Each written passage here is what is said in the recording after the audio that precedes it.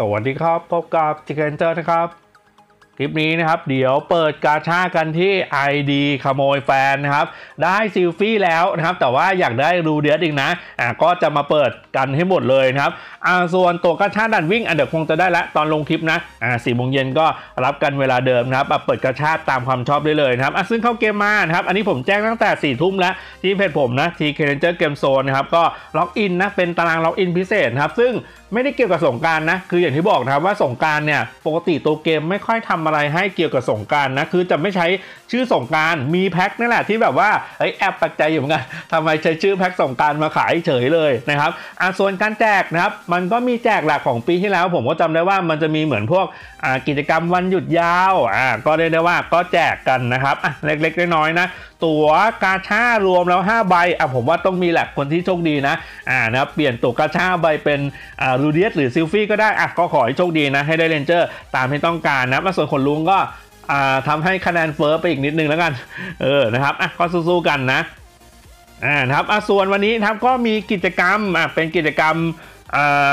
ตอบคำถามห้องเหมียวอะไรก็ไม่รู้เนี่ยนะครับ ก็ได้ตั๋วกาชาแล้วก็เอาอีกแล้วนะ ไทยได้แค่ 5 ไทยไม่ได้เบิ้ลและนอกได้เบิ้ลอะพอเป็นแบบนี้ก็เป็นดราม่าอีกนะอะเดี๋ยวมาพูดคุยแล้วสู่กันฟังนะครับ อะตู้กาชาเพิ่ม rate อยู่นะใครยังอยากเปิด ranger เปิดเกียร์หรือว่าจัดแพ็คแล้วมีทุนนะ ผมขอแนะนำร้านเติมเกมร้านนี้นะครับ The Sun Shop ขอเป็นที่ 2 เรื่องราคา แต่ขอเป็นที่ 1 ในใจคุณนะครับอะเป็นร้านรับเติมเกมปลอดภัยแล้วก็รวดเร็วนะครับ เติมเกม Rangers นะครับมีแค่ระบบ iOS นะครับแต่ว่าทางร้านมีบริการเปิดกาชาให้นะสำหรับคนที่มีแต่ Android ล้วนๆเลยนะครับอ่าเติม Ruby นะครับอ่าเติมแพ็ค Ruby คูณ2อะจากทางร้านนะหรือว่าแพ็คอื่นๆที่อ่ามี Ruby เกี่ยวข้อง แล้วเราอยากเปิดกาชานะให้ทางร้านเปิดได้เลยครับ แต่ว่าต้องเติมจากทางร้าน The Sun Shop เท่านั้นนะเออถึงจะมีบริการเปิดกาชาให้นะครับอะส่วนใครไม่มี ID เล่นนะอ่าอยากได้ ID เริ่มต้นครับไม่อยากสู้กับตู้กาชาครับอะไปหาดูได้เลยนะ ID collabo เกิดชาตินี้ season 2ก็มีนะครับ collabo เก่าแสงมืดโหดๆนะอยากได้ ID แบบไหนไปเลือกตามที่ชอบนะครับอะเลือกมาปั้นเล่นเองปั้นขายต่อยังไงก็ได้นะครับ ID มีมากกว่าที่เห็นในรูปนะอะอยากได้แบบไหนรีบทักแชทไปที่ร้านค้าได้เลยนะครับ อาจจะเติมเกมครับหรือซื้อ ID เริ่มต้นนะอ่าก็ไปตามร้านที่แปะเอาไว้ให้ที่คอมเมนต์เลยนะครับ The Sun Shop ขอเป็นที่ 2 เรื่องราคา แต่ขอเป็นที่ 1 ในใจคุณนะครับฝากกดติดตามไว้ด้วยนะอ่าครับแล้วก็มีรับเติมเกมอื่นด้วยนะครับ รวดเร็วแล้วก็ปลอดภัยนะอะสนใจก็รีบไปที่ร้าน The Sun Shop ได้เลยนะครับอะขอเล่าประเด็นตรงนี้นิดนึง คือ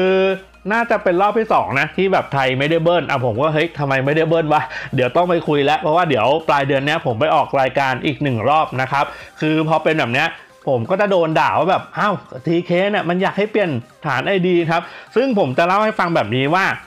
อ่าทำไมมันถึงเกิดเหตุการณ์แบบนี้ขึ้น เมื่อก่อนอะย้อนหลังไปหลาย ๆ เดือนเนี่ยเราได้นะครับเบิ้ลกันเยอะมาก อ่าไอดีไทยครับรวมกับกิจกรรมไทยที่แบบว่าโหเราได้กันเยอะแยะกระจุยกระจายครับ ซึ่งตอนนั้นเนี่ยน้องๆหลังไมเข้ามาเยอะมากรวมๆแล้วเนี่ยเกินร้อยคนเยอะมากจริงว่าแบบพี่ทำไมผมไม่ได้เออผมไม่ได้ผูกไลน์ผูก Facebook ID ผมเป็นไหนก็ไม่รู้ครับ ผมก็บอกได้ครับว่าต้องถามตัวเกมอ่ามันไม่มีวิธีดูวิธีดูอาจจะดูได้เบื้องต้นนะจากตรง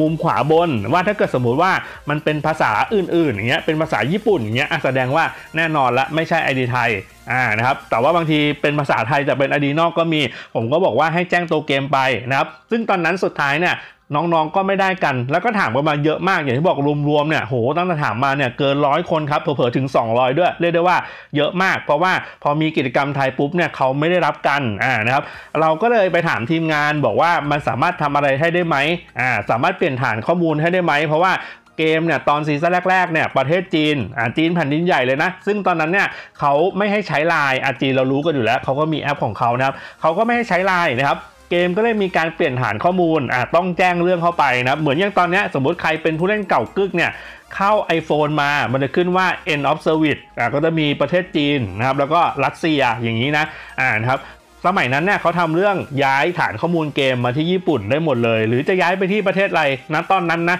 เขาทำให้ได้ ผมก็เลยบอกว่าเฮ้ยทำแบบนี้อีกได้ไหมเขาก็เลยแจ้งเรื่องไปที่อ่าญี่ปุ่นอะสุดท้ายรับเรื่องเอาไว้ก็ใช้เวลาพอสมควรแหละสุดท้ายญี่ปุ่นทำเรื่องให้ แต่ทำแบบเงียบๆนะไม่มีประกาศในเกมครับเพจก็ไม่มีเขาให้ทำกันแค่วงในครับ ตอนนั้นเขาก็ขอ ID ทดสอบอะขอขอทดสอบ ซึ่งตอนนั้นลุงยุทธเนี่ยเขามี ID อะจำได้ว่า น่าจะเป็น ID ที่กอนซุดให้มามั้งอะซึ่งเป็น ID แบบไกลๆเลยอะลุงเอามาปั้นต่อนะครับ ซึ่งเป็น ID นอกอะลุงก็ไปทำเรื่องขอเปลี่ยน ID นะครับแล้วนะครับทีมงานก็บอกให้ผมเนี่ยหา ID จากเพื่อนๆอะผมก็ไปแจ้งในกลุ่มของผมอะ ว่าใครอยากจะลองเปลี่ยนนะครับก็ไปเปลี่ยนอะสุดท้ายก็เปลี่ยนได้เรียบร้อยอะพอเปลี่ยนเรียบร้อยปุ๊บโอ้โห ก็ได้รับของรางวัลกันกระจุยกระจายสนุกสนานนะผมก็เลยทำคลิปบอกว่าอ่าใครอยากเปลี่ยนก็ให้เปลี่ยนอ่าอันนี้คือบอกเลยว่าสะดวกเปลี่ยนก็เปลี่ยนเพราะว่าเดี๋ยวถ้าเกิดมันมีกิจกรรมไทยเนี่ยเดี๋ยวจะมีปัญหาแบบนี้อีกว่า ID นอกจะไม่ได้ อ่ารางวัลที่เป็นกิจกรรมของไทย แต่ไอเรื่องได้เบิ้ลเนี่ยอันนี้เราไม่รู้เหมือนกันนะว่าทำไมไทยถึงไม่ได้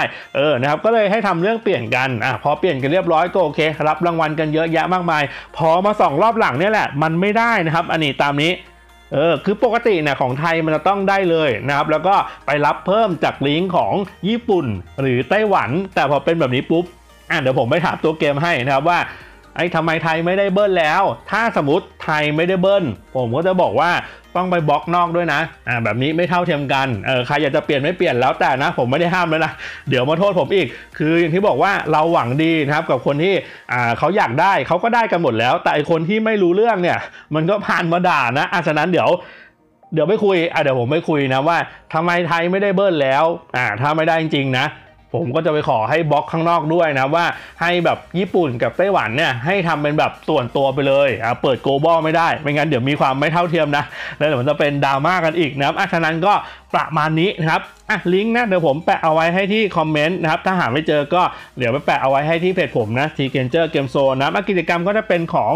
อ่าไลน์อะบางคนไม่ได้ผูกไลน์ไงก็จะเล่นกิจกรรมไม่ได้ก็ให้เข้าผ่านลิงก์นะครับอะก็เป็นกิจกรรมนะตอบคำถามห้องเหมียวนะครับ เขาไหนโดนฝ่ามือของรูเดียสโดนน็อกอ่านะครับก็เป็นริเนียอะเผื่อบางคนเล่นไลน์นะ ก็ตอบว่าริเนียนะครับ แล้วก็รับตัวกระชากกันได้เลยนะครับ อะนี่ผมยังไม่รับนะ เพราะว่ารับปุ๊บแล้วมักจะเปิดไม่ได้นะครับ อะคลิปนี้ผมอัดเอาไว้ก่อนด่านวิ่งจบนะ เดี๋ยวด่านวิ่ง4ี่โมงเย็นก็รับรางวัลกันนะครับ อะ ID นี้ได้ซิลฟี่แล้ว โอ้โห อะเพิ่มตู้มาอีกหนึ่งตู้นะครับ อะใส่หมด 50 ใบ อ่านะครับอะส่วน Ruby นะผมจะไปเปิดอ่าเปิดกบนะครับก็ตั้งเป้าหมายแล้วว่าจะต้องเปิดให้ได้กบ 9 ดาว 1 ตัวนะครับอะซึ่งเดือนนี้เนี่ยกบแจกด็อกเตอร์นะ ยังมีคนถามอยู่นะ เกมแจก Doctor Leonard นะครับ Doctor Leonard คือกบเขียวนะอ่านะครับกบสีแดงเนี่ยมันชื่อว่า Super Master อ่ากบดำนะครับอ่าหรือบางคนเรียกกบน้ำเงินยังไงก็ได้นะ เอาเข้าใจตรงกันนะ กบดำจะเป็นอ่า Ultra นะครับ อ่ากบม่วงครับหรือกบชมพูเนี่ยก็คือ Hyper ครับมันจะมีชื่อที่แตกต่างกันนะอ่าเกมเขามีชื่อกำกับชัดเจนนะครับฉะนั้นแจกกบเขียวนะ ไม่มีประโยชน์เอาจริงๆ กบเขียวตัวเดียวเนี่ย เพราะว่าวันตีบวกเวลเนี่ยตัวเดียวมันไม่ได้ช่วยเราเท่าไหร่เลยนะ มันขยับนิดเดียวนะครับ เอาจริงๆนะผมก็มองว่าถ้าจะแจกกบเขียว 9 ดาวเนี่ยแจกสัก 4 ตัวเนี่ย อันนี้ยังโอเคหน่อยอ่านะครับเพราะว่าส่วนใหญ่เนี่ยเราจะใช้วิธีการไปฟาร์มจุติมาตีบวกนะสรุปก็ตีบวกทีละตัวดีกว่า นะครับเมื่อก่อนมันตีบวกแบบปัสเตอร์จะดีกว่า เพราะว่าเคยมีคนทำข้อมูลเอาไว้แต่มันนานละหลายปีมากๆแล้ว แล้วเราก็ไม่ใช่เป็นสายมานั่งตีบวกด้วยนะอ่านะครับอะไอ้ทีนี้เดี๋ยวรอดู คือรีวิวซิลฟี่ไป 9 ดาว max เหมือนรีวิวเมกูมินยังไงก็ไม่รู้นะอะก็ตามคลิปนะเนื้อหาก็ตามนั้นนะครับ ก็ชั่งใจแล้วยังไงดีวะเนี่ยไอ้ทีนี้อะผมก็เลยมาเปิด เดี๋ยวก่อน เอาให้ได้รูเดียสก่อน เพราะว่าถ้าเกิดได้รูเดียสผมจะทำรูเดียสอ่ารูเดียส9ดาว max เดี๋ยวผมลงคลิปพรุ่งนี้อะอัดไว้เรียบร้อยแล้วทดสอบเรียบร้อยนะ คืออยากได้รูเดียสมากๆครับอ่าเมกูมินมีแล้วครับ ID นี้อ่าเดี๋ยวดูก่อน ถ้าไม่ได้รูเดียสจริง ก็เดี๋ยวดูว่าจะมาปั้นเมกูมินหรือปั้นซิลฟี่ดีนะ คือที่จะปั้นซิลฟี่สาเหตุเพราะว่า อ่ามันยังไม่มี ID ไหนของผมเนี่ยที่จะทำซิลฟี่9ดาว max คืออยากทำเก็บเอาไว้รีวิวนะอ่านะเป็นเวอร์ชันของ ID ตัวเองนะครับ ส่วนเมกูมินมีไปแล้วอะทำไปแล้วครับ ID ID ไหนอะจำไม่ได้แล้ว ผมทำเมกูมิน9ดาว max แล้วแบบโหดมาก ID หลักผมก็เลยทำตาม พอทำตามปุ๊บ เอามารีวิวปุ๊บ โอ้โหแตกตื่นกันเลยนะอ่าแต่ว่าส่วนหนึ่งนะ คือแพ้ธาตุอะต้องบอกแบบนี้ก่อนแพ้ธาตุเนี่ย damage มัน 1 ต่อ 10 ใช่ไหมแต่ถ้าเกิด Ranger เนี่ยเรามีเกียร์ดี ๆ จริงๆอะแล้วมันปล่อยตัวไวมากๆนะครับ แล้วมันหยุด 5 วิได้ไงประเด็นคือมันหยุด 5 มันเลยทำให้Ranger เนี่ยมันออกมาเป็นอัตรา 1 ต่อ 10เนี่ยมันมีความเป็นไปได้ไงมันก็เลยทำให้เฮ้ย damage มันกลายเป็นเข้ามาเท่ากันได้เออประมาณนี้เออนะครับมันก็เลยแบบโหทำไมมันโหดเวอร์เกินอะเอาจริง เออ เราก็ไม่เคยเจอแบบนี้นะว่าแบบอ๋อพอหยุด 5 วิที่บวกกับ Ranger มันปล่อยตัวแบบเยอะมากกว่าเยอะมากจริงเนี่ยมันก็เลยกลายเป็นมีผลอยู่เหมือนกันอะไม่ออกครับ ไม่ออกรับตัวกันอะดูทรงแล้วครับไอดีนี้อะดูทรงแล้วคงจะต้องตามมันนะอะเปิดตู้นี้นะครับ เพราะว่าอยากได้รูเดียนนะอะไม่ใช่ว่าซิลฟี่มาเบิ้ลนะ ไม่เอานะไม่ดีใจนะ อ่านะครับส่วนรูบี้บอกแล้วนะครับว่าเราต้องวางแผนเอานะว่าจะเปิดเกียร์หรือว่าเปิดกบนะครับ เปิดกบนี่จะเป็นกรณีที่แบบเฮ้ยเร่งด่วนจริงแบบอยากได้ตัวสุดท้ายได้ประมาณนี้ก็สามารถเอาไปเปิดได้นะครับอะตัวนี้ก็พอจะเก็บเอาไว้ได้ครับอะไอดีนี้ไม่ได้นะ เออไอดี ขโมยแฟนครับเอะก็ยังไม่ขยับไปไหนนะทั้งทที่ก็ได้บทแล้วครับ คือมีคนบอกว่าพอรูเดียเป็นผู้ชายเฮ้ยมันก็ไม่ขนาดนั้นเออแต่ว่า ลไอตัวนี้มันไม่ใช่โคลาโบนะเออครับตัวโคลาโบไอดีนี้ผมได้ผู้หญิงหมดเลยอะ่ะเออฉะนั้นเนี่ยอะเดี๋ยวรอดูแล้วกันนะครับว่าไอดีนี้ผมมีกบ 9 ดาว 3 ตัวนะครับ เดี๋ยวตามล่าหากบต่อนะ ก็ไม่รู้ว่าจะยังไงดีนะครับ คือถ้าเกิดตั้งใจจะเอาโหดนะอ่าก็คงจะเป็นตัวนี้นะครับทำเป็น 9 ดาวแม็กเพราะว่าเกียร์มันก็พร้อมนี่เกียร์พร้อมเลยอ่าถ้าจะเอาโหดนะก็คงเป็นประมาณนั้นครับ แล้วก็ตัวนี้ก็จะขึ้นเป็น 9 ดาว แล้วก็เอาให้ได้ล่างโคลน อ่านะครับ นอกนั้นก็อ่าประมาณนี้ ตัวนี้เหมือนกันอะตัวนี้เหมือนกันก็ต้องขึ้นเป็น 9 ดาว แล้วก็ให้ได้หยุด 5 วินาทีนะครับ ก็จะเป็น ID ที่สามารถถดได้อะส่วนป้อม1รูนะก็บอกไปแล้วครับว่าไม่ได้ซีเรียสครับ ป้อม1รูเราไม่ได้ซีเรียสนะ เราตั้งใจจะเล่นแบบว่าสนุกสนานอยู่แล้วนะครับ อ่านะครับก็คงจะเล่นป้อม1รูไปจนกว่าจะเบื่ออ่าใช้คำนี้ดีกว่านะ อ่าเพราะว่า อ่านี่เล่นเองก็คัดทีมตีนี่ตั้งรับก็ชนะได้อ่าเรียกได้ว่า สมมติไปจบแบบทองหนึ่งทุกสัปดาห์ผมว่าผมก็โอเคนะ เพราะว่าจบทองหนึ่งมันได้ 100 ruby ใช่ไหมเดือนหนึ่ง400 ruby ครับ400 ruby เนี่ยก็แบ่งจะเปิดกบหรือเปิดเกียร์อะลุ้นเอานะ เพราะว่าตั๋วกาชาเนี่ยผมจะไปเปิดอ่าอ่าขอชอบลอยป้อมอะเดี๋ยวมาลองดูจะลอยป้อมผมได้ไหมอะลองดูนะ ป้อมรูเดียสครับโดนตีทีเดียวป้อมแตกนะอ่านะอะส่วนตั๋วกาชาผมเอาไปเปิด Ranger อยู่แล้วนะครับ ก็ไปวัดดวงกันเอา อย่างที่บอกว่าเรามีประสบการณ์มาแล้วว่าว่าบางทีนะครับมีตั๋วเยอะก็ไม่ได้หมายความว่าจะเปิดได้ แต่มีเยอะดีกว่า มีเยอะดีกว่าแน่นอนนะ มีเยอะมันมีโอกาสได้ลุ้นนะครับ อันนี้จะลอยป้อมเหรออ่านะครับอ่าวันนี้ก็เพิ่งลงคลิป ID แห่งสายการบิน comeback นะครับ คือผมบอกก่อนว่า ถ้าสมมติว่าเอาบินนะครับมาปะทะกับการบินโดยตรงเนี่ย การบินมันจะมันจากค่อนข้างได้เปรียบ แต่ไอตัวโคนี่บินอะอันนั้นมันมันแรงเหนือพิกัดนะครับมันก็เลยอาจจะยิงไม่ทันอ่าตัวกันบินมันเลยอาจจะต้องใช้เวลาสร้างกลุ่มสักนิดหนึ่งนะครับอ่านะครับแล้วก็ตัวของอ่าซารีบักลุกอะมีคนบ่นมาว่ามันเริ่มจะใช้ไม่ดีเหมือนเดิมแล้วนะครับ คือเลนเจอร์เก่ามันก็มีผลแล้วนะอ่าแต่ผมมองว่ามันก็ยังผลักได้ดีอยู่นะครับ เพียงแต่ว่า ปัญหามันคือเราอาจจะเจอภาคพื้นฝั่งตรงข้ามยิงตาย การบินมันก็เลย ไม่สามารถที่จะออกมารวมกลุ่มได้นะครับอาฉะนั้นเนี่ยตัวบินผมบอกไปแล้วนะ ตัวบินเนี่ยเราใช้กันเฉพาะกิจจริง ๆ ก็คือเน้นเอาไปตีนะครับทีมที่ไม่มีตัวกันบินข้างล่างเนี่ยถ้าเขาไม่ได้จัดตัวแบบยิงเจาะทะลุอะซึ่งผมเล่น ID4 ให้ดูไปแล้วนะครับว่าถ้าเกิดสมมุติว่า ไม่ได้เจอนะครับทีมที่แบบเอาแบบโหโหดมากๆนะครับไม่ได้เจาะทะลุเนี่ย มันจะมีเวลายื้อกันอยู่ เพียงพออาจจะว่ามีเวลายื้อเพียงพอนะ ที่ตัวบินมันตีป้อมแตกเพราะมันตี3ามสี่ทีจริง ๆอะเออคือแบบว่าขนาดไม่ได้ร่างโครนะอาจจะลองไปดู ID6 ครับ ID6 ผมได้เฮือกสุดท้ายครับแล้วก็ใช้บิน 2 ตัวด้วยเออแล้วก็ภาคพื้นก็ถือว่าเฮ้ยภาคพื้นโหดอยู่นะอ่าแต่ว่าติดตรงที่ว่าไม่มีตัวเฮือกสุดท้าย คือ ID6 เนี่ยมีคนคอมเมนต์บอกว่า น่าจะดูขึ้นตำงานขึ้นตำนานง่ายกว่า ID4 ผมต้องบอกแบบนี้ว่าไม่ไม่น่าจะขึ้นได้ไวกว่า เนื่องจากว่าอ่าเรื่องสุดท้ายยังมันยังช่วยได้เยอะมากนะครับ เพราะว่าถ้าไปเจอทีมโหดๆระดับที่เบียดขึ้นตำนานกันอะทีมเขาโหดเขาคือโหดมากจริงนะครับ ซึ่ง ทีมของ ID6 ผมเนี่ยภาคพื้นไม่น่าจะยื้อไหว แต่ยังไม่ได้ลองเล่นนะ แต่ว่ามาร์สองนี่คือสบายๆครับ มาร์สองคือยังเล่นได้ง่ายมาก มีทีมไม่ตีเยอะนะ แต่ถ้าเกิดขึ้นไปเบียดเบียดๆตรงนั้นเนี่ยน่าจะน่าจะยากแล้วอ่านะครับฉะนั้นเนี่ยเดี๋ยวคงจะพัฒนาทีมอะเดี๋ยวรอดูแล้วกันนะอ่านะครับก็จะเป็นซีรีส์นะครับสายฟรีปั้นบิน ปั้นบินแบกขึ้นตำนานครับ คิดว่าน่าจะต้องได้สักรอบหนึ่งอะแต่ว่าปัญหาคือเวลาแค่นั้นแหละ อ่าแล้วก็ต้องมีรูบี้พอด้วยนะ เพราะว่ามันต้องซื้อขนลุงนะครับ ยังไงต้องซื้อนะครับ เพราะตั้งรับคือจำไม่ได้เลย แล้วก็ต้องใช้ขนลุงเนี่ยเล่นเองเยอะมากกว่าปกติด้วยนะครับอ่าก็จะต้องลงทุนประมาณสักอ่าหกสิบรูบี้อะน่าจะน่าจะถึงอยู่นะอ่าหรือถ้าเกิดสมมุติว่าต้องเล่นต่อเนื่องระยะยาวนะครับ ก็จะถึง 90 รูบี้ก็จะมีอยู่เหมือนกันเออนะครับ ก็เล่นเอาสนุกอะเอาจริงคืออย่างที่บอกนะครับว่า ทุกอย่างอะในชีวิตนะ ถ้าอะไรที่เรามองว่าเฮ้ยมันไม่ดีมันไม่พร้อมมันไม่ชอบนะครับ ก็อาอาจจะเป็นเฉพาะตัวเราอ่าแต่บางคนเขาชอบแบบนี้ครับอ่าเรียกได้ว่าแต่ละคนก็มีความชอบที่ไม่เหมือนกันนะครับอ่าบางทีว่างอะเล่น PVP สนุกบางคนเขาสนุกกับการเล่น PVP นะคือบางคนเขามองว่าอ่าด้วยรูปแบบตัวเกมอะที่มันมีตัวใหม่เข้ามาอยู่เรื่อยๆครับแล้วก็มีการอ่าแอบ nerf แอบ buff อยู่เรื่อยๆครับมันก็จะเป็น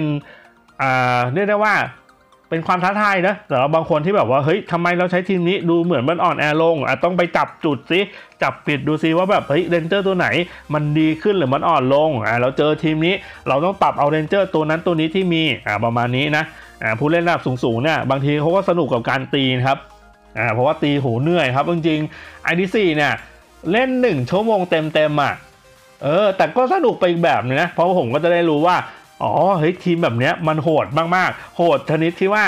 ต่อให้ไอดีหลักผมโหดขึ้นมากว่านี้ได้อีกเนี่ย ก็ยังสู้ไม่ได้ มันโหดคือมันโหดจริง แต่พอเขาไม่ใช้ตัวกันบินปุ๊บเนี่ย มันกลายเป็นจุดที่ทำให้เราเนี่ยไปตีนะครับอะถามว่าทำไมเขาถึงไม่ใช้ตัวกันบินกัน เพราะว่าอ่าคนที่ใช้ตัวบินจริงๆจังๆเนี่ยจะมีไม่เยอะอาจจะมีส่วนหนึ่งเท่านั้นนะครับ เพราะว่าคือถ้าจะเล่นบินให้มันโหดเนี่ย มันต้องโหดพอที่จะตีป้อมแตกได้อย่างรวดเร็วนะครับ เพราะว่าภาคพื้นเนี่ยเขาโหดมากๆ เออนะครับฉะนั้นเนี่ยเขาก็เลยเลือกที่จะไม่ใช้ตัวกันบิน เพราะว่ามันใช้เฉพาะทางจริงๆอะอ่าแต่คราวนี้มันก็จะมีไอตัวมูลลดน้ำหนักใช่ไหมตัวกันบินครับมันมีหยุด 5 วิธีในร่าง 9 ดาวนะครับ อันเนี้ยแบบเนี้ยมันก็เลยสามารถที่จะ อ่านำมาใช้ได้อ่าซึ่งบางคนเขาแบบเฮ้ยเขาชอบเล่นภาคพื้นอะอ่าแล้วก็เปิดช่องให้บินเนี่ยสามารถที่จะบินไปตีป้อมได้ ซึ่งมันก็คงมีแค่ไม่กี่ทีมหรอกนะที่จะสามารถเอ่อบินไปตีป้อมแตกได้อย่างรวดเร็วนะครับคือมันจำกัดตัวจริงอะว่าต้องเป็นตัวโคนี่คริสต์มาสบินนะครับแล้วก็ต้องใส่เกียร์ที่ค่อนข้างจะโหดประมาณหนึ่งอ่าเดี๋ยวเรียกว่าเราก็เห็นช่องตรงนี้ไงว่าป้อมป้อมทุกคนจะมีขีดจำกัดนะครับ อ่าป้อมทุกคนจะมีขีดจำกัด ยิ่งถ้าเกิดไม่ได้อัพป้อมนี่คือบอกเลยครับว่าตีสองทีครับสองทีแตกเลย เออโหดมากครับอ่าผมก็เลยขุดบินมาเล่นครับ เพราะว่าในลีกเพชรน่ะกลายเป็นว่าเฮ้ยทีมที่เขาแบบว่าป้อมยังไม่ค่อยได้อัพอะเออนะครับแล้วอยู่ประมาณเพชรหนึ่งด้วยนะเยอะมากครับแล้วก็ไม่ทันกันบินกันไม่ทันอ่าเพราะว่ากันบินบางคนก็อาจจะใช้แบบเวลร้อยสี่สิบอะไรประมาณนี้ อันเนี้ยผมก็ยังอย่างนี้นะคัดทีมตีครับ อ่าต้องคัดทีมตีนะครับ เพราะว่าอย่างเงี้ยทองเนี่ยจะมีทีมโหดๆเยอะอยู่นะครับเนี่ยอย่างเงี้ยทำไมพี่ลงมาอยู่ทำไมพี่ลงมาอยู่ ทองสองนะมันไม่ควรนะอ่าอย่างเงี้ยคัดทีมตีเอานะครับ คือมันจะมีทีมที่เราสามารถตีได้อ่าแต่ปัญหาคือเราจะต้องรีหาจนเจอครับ ยังไงก็เจอครับอ่าอดทนหน่อยนะ คือเกมนี้มันก็ อย่างที่บอกครับ บางคนก็ไม่ชอบตู้กาชาคือก็ไม่ชอบทั้งนั้นแหละนะตู้กาชามันเกลือนะแต่บางคนโชคดีจัดก็ถือว่าโชคดีกันไปนะครับอ่าสมโหมดอื่นๆอะบางโหมดก็ไม่ชอบกันนะครับอะเขาวงกดก็เดี๋ยวไปถามอีกรอบนึงอะเดี๋ยวรอบนี้มีคำถามอะไรคงจะรวบรวมจากเพื่อนๆนะไปสอบถามนะครับว่าแบบเฮ้ยสรุปอะไรยังไงอ่ารายละเอียดในเกมนี้ครับ ก็ดีหน่อยนะ ตรงที่ว่าเราก็สามารถที่จะอ่าพูดคุยสอบถามกันได้โดยตรงนะ อะมารอบสุดท้าย คืออย่างที่บอกอะว่าเกมเขาต้องพยายามพัฒนาไปในทิศทางที่ดีนะครับ เพราะว่าอย่างของไทยนี่คือแบบจ้างอินฟลูเอนเซอร์แบบว่าเออที่เพิ่งพูดไปนะบุฟเฟ่ผมเห็นบุฟเฟ่เฮ้ยอะไรวะบุฟเฟ่ทำคลิปอะไรวะพอดูเฮ้ย Line Ranger นี่ว่าเออไปจ้างบุฟเฟ่ Channel แล้วนะ อ่านะครับนอกนั้นก็ช่องอื่นๆครับอะเดี๋ยวคงจะเห็นตามมาเรื่อยๆนะอันนี้ก็คือจะเป็นอ่ากระแสต่อเนื่องจาก 10 ปีนะครับคืออย่างที่บอกครับว่าเกมเขาก็พัฒนาต่อจริงจังแหละปัญหาก็คือปัญหานะครับคือเกมเนี้ยอะเราพูดกันตรงๆเลยนะเกมเนี้ยตั้งแต่ซีซั่นแรกๆเนี่ยไปจนถึงปัจจุบันเนี่ยวิธีการเขาคือหมกปัญหาหมกปัญหาเอาไว้ข้างหลังก่อนอ่านะครับ โดยการเอาของดีของใหม่เนี่ยมาโปะ ไอของที่หมกเอาไว้ เพื่อที่จะให้เราเนี่ยไปเล่นของใหม่กันก่อนอ่าของเก่าก็ถูกกลบเอาไว้ก่อน แต่เขาก็ไม่ได้กลบทิ้งไปเลยนะ เขาก็คือเขากลบแล้วก็ค่อย ๆ หาวิธีแก้ปัญหา ซึ่งบางอย่างผมบอกไปแล้วว่า เฮ้ย มันมีปัญหาจริง ๆ มัน มันแก้ไม่ได้ง่าย ๆ มันก็จะต้องใช้เวลา หรือบางเรื่องอาจจะถึงขั้นที่แก้ไม่ได้เลย หรือบางเรื่อง อ่า บางเรื่องอันนี้ผมก็บอกไม่ได้ บางเรื่องคือเป็นเรื่องที่เขาแบบว่าตั้งใจทำมาเป็นแบบนี้ ก็คือแจ้งยังไงก็อาจจะไม่ได้แก้ อ่านะครับบางเรื่องคือเป็นแบบนั้นจริง บางเรื่องก็คือก็พยายามแก้ปัญหากันอยู่นะครับอะอย่างเงี้ยนับเซิร์ฟเน่าเซิร์ฟหมุนเนี่ยอ่าแก้เรียบร้อย เพราะว่าเจอเจอด่าทุกวันครับอ่านะครับก็เรียกได้ว่าก็แก้ไปละอันนี้คือจะไม่ค่อยเจอปัญหาการหมุนแล้วนะใครเจอปัญหาการหมุนก็แจ้งเข้ามาได้นะครับอะอย่างเงี้ย ID เนี้ยอันจบท้องหนึ่งครับสบายๆจริงๆก็ดันขึ้นไปได้ครับ เพชรหนึ่งยังไม่ได้ขึ้นเลยนะ เดี๋ยวเดี๋ยวค่อยจัดแจง ID ให้เรียบร้อยก่อนเออนะครับ หรือไม่ก็เดี๋ยวคงแบบ ทำบิน max มาสักหนึ่งตัวเออเอาไว้ดันลีกนะอะแล้วเดี๋ยวรอติดตามดูแล้วกันนะครับว่า ID นี้จะไปได้ถึงไหนนะครับอะเปิดกาชาไม่ได้ก็สู้ต่ออะส่วนเพื่อนผมก็เอาใจช่วยนะ เอาให้ได้ Ranger เอาให้ได้เกียร์ตามที่ต้องการนะครับอะซึ่งถ้ามีทุนอยู่นะ แนะนำร้านเติมเกมร้านนี้นะครับ The Sun Shop ขอเป็นที่ 2 เรื่องราคา แต่ขอเป็นที่ 1 ในใจคุณนะครับ ก็เป็นร้านรับเติมเกมที่ปลอดภัยแล้วก็รวดเร็วครับ เติมในในเกม Ranger นะครับ มีแค่ระบบ iOS นะ แต่ว่าทางร้านมีบริการเปิดกระชาได้นะครับ ต้องเติมจากทางร้านนะ อ่า แล้วเราแบบเป็น Android ล้วนๆนะครับ เติม Ruby นะครับ เติมแพ็กเกจ Ruby คูณ2อ่าหรือแพ็กเกจอื่นที่เกี่ยวกับ Ruby เนี่ย ให้ทางร้านเปิดกระชาให้ได้เลยนะครับ อ่า ส่วนใครอยากได้ ID นะ เป็น ID เริ่มต้นนะครับ โคโรโบเกิดชั้นนี้ซีซั่น2อะโคโรโบเก่านะสั่งพื้นโหดอยากได้ ID แบบไหนไปเลือกที่ชอบเลยนะครับซึ่ง ID มีมากกว่าที่เห็นนะอะให้รีบทักแชทไปที่ร้านค้าเลยนะครับที่ร้านเดอ r ซันชอปขอเป็นที่ 2 เรื่องราคาแต่ขอเป็นที่ 1 ในใจคุณนะครับอะตอนนี้มีรับเติมเกมอื่น ๆ ด้วยนะครับใครสนใจนะฝากกดติดตามด้วยครับอ่าอยากเติมครับอยากซื้อ ID เริ่มต้นนะก็ไปตามลิงก์ได้เลยนะครับที่ร้านเดอ r ซันชอปนะครับเอาโอเค วันนี้ประมาณนี้นะครับลาไปก่อนครับ สวัสดีครับ